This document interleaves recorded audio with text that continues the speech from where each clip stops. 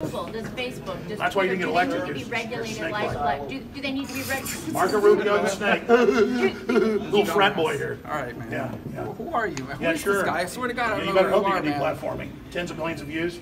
Infowars. Bigger than Rush Limbaugh. He knows who Infowars Well, is. but Playing this joke over here. That's why, and the deplatforming didn't work. But, but, here- but here, here's, here's the question, here's a question. Don't touch me again, man. I'm asking you not to touch me. Well, sure, I was just patted you nicely. I know, but I don't want to be. I don't know Oh, you want me to man. get I don't know who you are. It's not just going to take my gonna First get arrested, Amendment. man. It's You're not not just enough to take my I'll First take care of Amendment. myself. Oh, oh, he'll beat me up. I didn't say that. I know I am, but he's so mad. You're not going to silence me. You're not going to silence Well, America. but, but there are but there are You are like you are literally like a little gangster thug. there are there are people in this country. who Rubio feel just threatened to physically take care of me. There are people who Look at feel that. that they're being um, We already they got rid of are my First being Amendment. silenced. They feel like He tells you know, China's the problem, by- which it by is, these but they're taking our like free speech right now. Social social media platforms, Facebook, There goes Rubio. Twitter. Do you believe that these these platforms need to be regulated?